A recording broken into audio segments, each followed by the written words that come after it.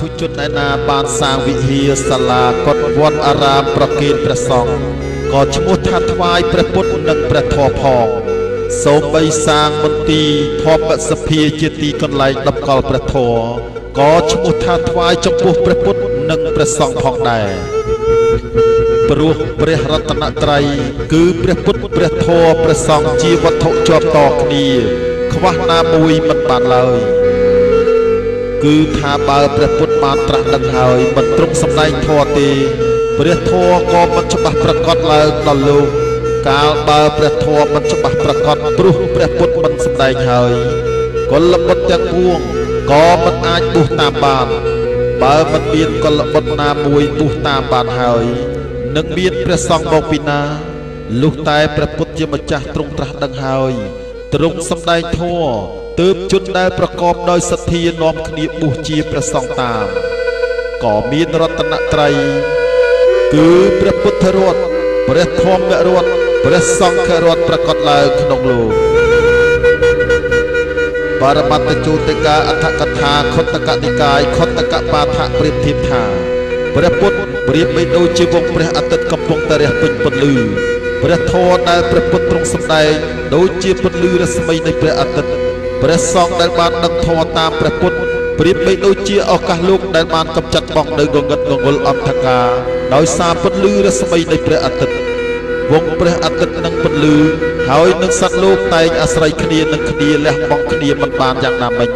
ព្រះរតនត្រ័យក៏អាស្រ័យគ្នានឹងគ្នាយ៉ាងនោះដែរព្រោះហេតុនោះហើយបានជាលោកសម្ដែងថាសាធុជនដែលបានសាងវិហារសាលាកុដិវត្តអារាមថ្វាយព្រះពុទ្ធ ក៏ដូចជាថ្វាយព្រះធម៌និងព្រះសង្ឃទោះបីធ្វើធម៌មន្ទីរសម្រាប់តម្កល់ព្រះត្រៃបិដកជាពុទ្ធវចនៈដែលហៅថាព្រះធម៌ក៏ដូចជាថ្វាយព្រះពុទ្ធនិងព្រះសង្ឃដែររួមសេចក្តីដោយសង្ខេបទៅឃើញថាអ្នកដែលបានសាងវិហារសាលាកុដិវត្តអារាមទុកក្នុងព្រះពុទ្ធសាសនាហៅថាបានបូជាព្រះរតនត្រ័យដោយពិតពិត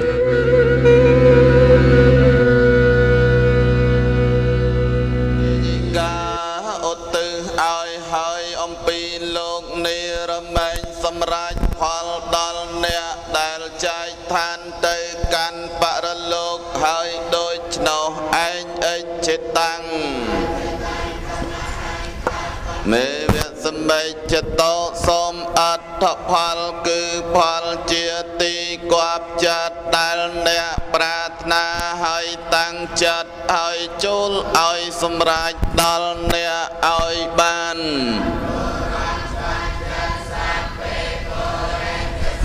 កាប់បាសុំដំរែត្រូវទាំងពួងចូលពេញដល់អ្នកចន្ទោបណ្ណរសោយថាដូចប្រច័នក្នុងថ្ងៃ15កើតមនិជុំ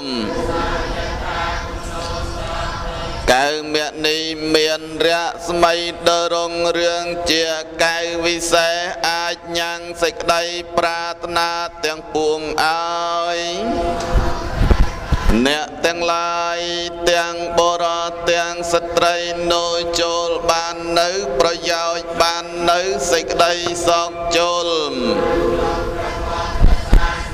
ចូលកុំឲ្យមានរោគឲ្យបាននៅសេចក្តីសោកព្រមតញាតទាំងឡាយគ្រប់គ្នាសុំផលនៃចិត្តដែលជ្រះថ្លាម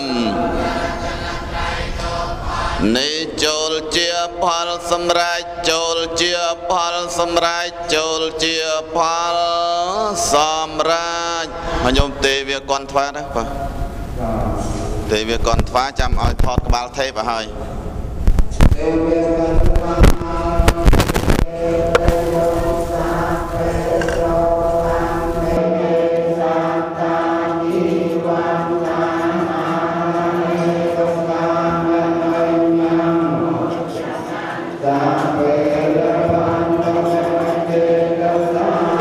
សាធុវោហើយអស់លោកអ្នកសាធុសប្បុរសទាំងឡាយដុំនៃអមិសៈគឺអាហារមានបាយបបរនំចំណីជាដើម ដែលដាក់ចូលទៅក្នុងមាត់ទំពាលេបចូលទៅបាន តាមព្យញ្ជនៈក្នុងភាសាបាលីហៅថាបណ្ឌបាត ដែលយើងអ្នកកាន់ព្រះពុទ្ធសាសនាធ្លាប់សម្គាល់ពាក្យនេះថាជាចង្ហាន់របស់ព្រះសង្ឃ តែបើតាមសេចក្តីដែលចែងពីបណ្ឌបាតបច្ច័យនោះ លោកថាសូម្បីតែអាហាររបស់ក្រហមឬរបស់សត្វទូទៅ ដែលជាគ្រឿងលេបចូលទៅតាមផ្លូវមាត់ដូចគ្នាក៏លោករាប់ចូលក្នុងពពួកបណ្ឌបាតបច្ច័យដែរធម្មតាមនុស្សសត្វក្នុងសកលលោកសុទ្ធតែត្រូវអាស្រ័យដោយបណ្ឌបាតបច្ច័យដូចគ្នាទាំងអស់ បើគ្មានបណ្ឌបាតបច្ច័យជាគ្រឿងអាស្រ័យទេมันអាចរស់នៅបានជាដាច់ខាតព្រះបរមសម្មាសម្ពុទ្ធនៃយើងព្រះអង្គបានទ្រង់បញ្ជាក់ថាសពេសតាអាហារដ្ឋិតិកាសត្វទាំងឡាយទាំងពួង តាំងជីវិតរស់នៅបានដោយសារអាហារវិនិយបិដកមហាវៈទុតិយភាគសម្ដែងថា ការឲ្យទានបបរមានអានិសង្ស10យ៉ាងគឺ1យ៉ាគង់ទេនតោអាយុងទេតិបុគ្គលកាលឲ្យបបរឈ្មោះថាឲ្យអាយុ2វណ្ណងទេតិឈ្មោះថាឲ្យពណ៌សម្បុរ3សុខੰទេតិឈ្មោះថាឲ្យនៅសេចក្តីសុខ4ពលលៀងទេតិឈ្មោះថាឲ្យកម្លាំងកាយ 5បដិភិណੰទេតិ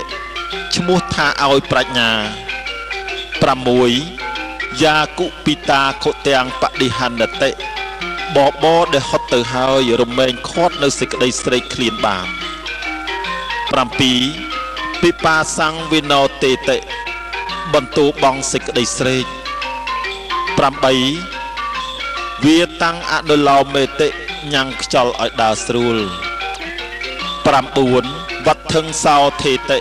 ញ៉ាំងសរសៃឲ្យស្អាត10អាមាវសេសੰបាចេតិញ៉ាំងអាហារថ្មីដ៏សេះសល់ឲ្យរលួយបុណ្យទាំងឡាយរមែងជាទីពឹងរបស់សត្វទាំងឡាយក្នុងលោកខាងមុខ